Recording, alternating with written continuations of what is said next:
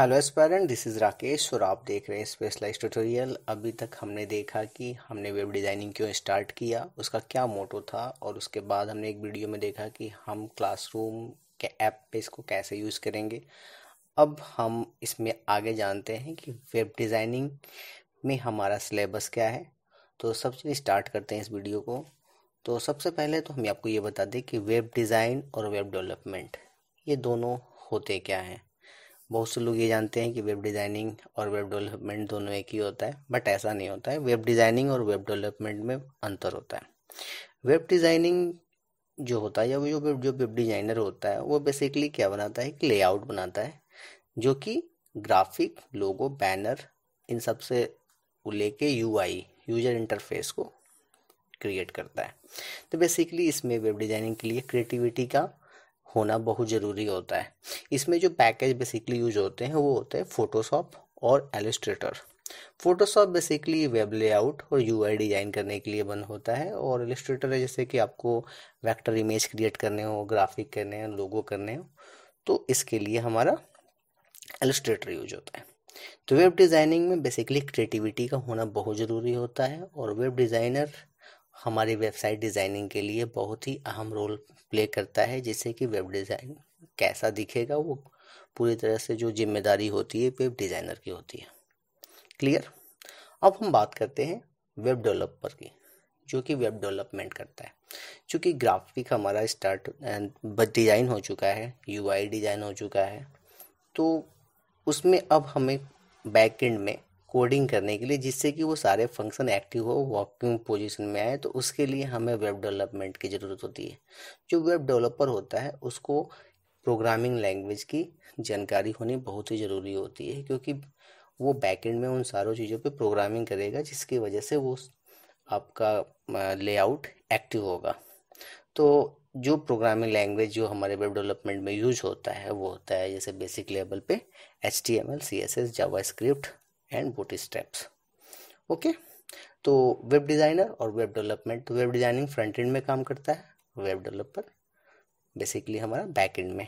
Web designing में creativity होता है और वेब डेवलपमेंट लॉन्ग टाइम काम करने की कैपेबिलिटी बोथ आर अलग अलग रोल है सब दोनों का, लेकिन दोनों मिलके ही काम जो करते हैं, उसी से हमारी वेबसाइट डिज़ाइन होती है। तो मतलब दोनों का रोल होना बहुत ही ज़रूरी होता है। इन मार्केट वैल्यू के हिसाब से देखा है दोनों की सैलरी दोनों का जो स्टेटस होता है, वो ज़्यादा डिफरेंस नहीं होता है और दोनों की डिमांड ऑलरेडी हमें मार्केट में बनी ही रहती है। ठीक है, अभी जो हम आपको आगे पढ़ाएँगे कोर्सेस उसमें हमने तीन लेवल पे इसको वेब डिज़ाइनिंग को डिवाइड किया हुआ है। तो फ़र्स्ट लेवल जो हमारा है, वो बेसिकली बिगनर है सेकेंड है इंटरमीडिएट लेवल एंड थर्ड है एडवांस जिसको प्रोफेशनल लेवल भी बोल सकते हैं। तो हम जो कोर्स आपको बताएँगे, वो स्टेप बाय स्टेप बताएँगे। तो फ़र्स्ट फ़ेज़ में हम लोग जो चलेंगे, वो हम बिगनर्स लेके चलेंगे। तो आप में बहुत ऐसे लोग होंगे जो कि कभी भी वेब डेवलपमेंट के बारे में बस सुना होगा, बट उसके बारे में कुछ किया नहीं होगा। कुछ लोग ऐसे होंगे जो थोड़ा बहुत जानते होंगे, और कुछ ऐसे होंगे जो वेब डिज़ाइनिंग भी करते होंगे, ठीक है? तो हमें एक चूँकि स्टार्टिंग से लेके रहे हैं तो हम फ़ेज़ वन से चल रहे हैं, जिनको कुछ नहीं मालूम है वेब डिज़ाइनिंग के बारे में, वेब डेवलपर के बारे में कि कैसे क्या होता है।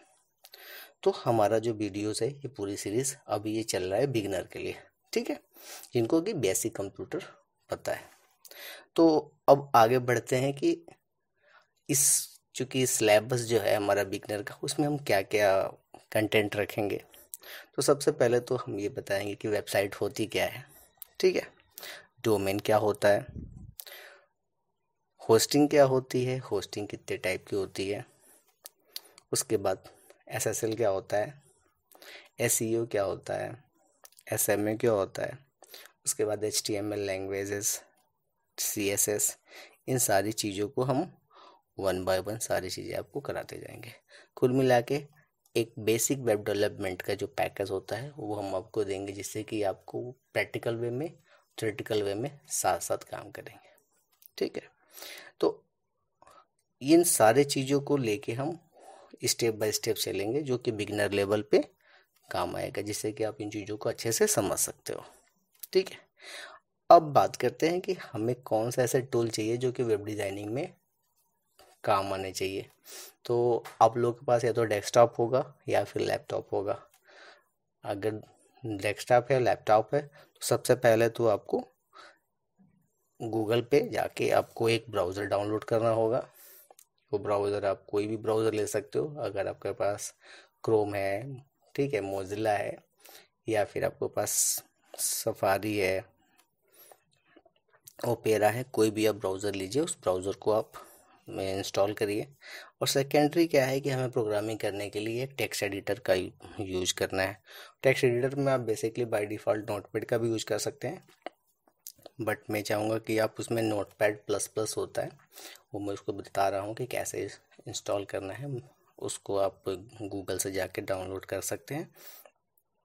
दूसरा जो हमारा इसमें टेक्स्ट एडिटर होता है, वो सबलाइम होता है, वो भी ऑप्शनल है, उसको भी ले जाके यूज़ कर सकते हैं। तो कोई भी आप टेक्स्ट एडिटर अपने हिसाब से, जो आपको सुटेबल हो उसको आप इसमें यूज़ करेंगे।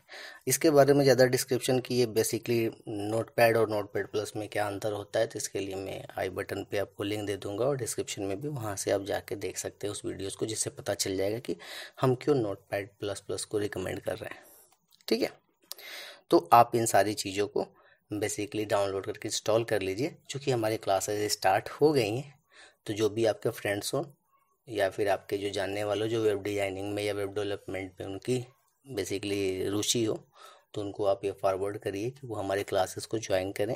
आप अपनी कोई भी प्रतिक्रिया हो, कोई भी सुझाव हो, कोई भी क्वेरी हो, आप हमारे क्लासरूम पे अपना कमेंट कर सकते हैं, क्योंकि यहाँ पे कमेंट सेक्शन डिजेबल है।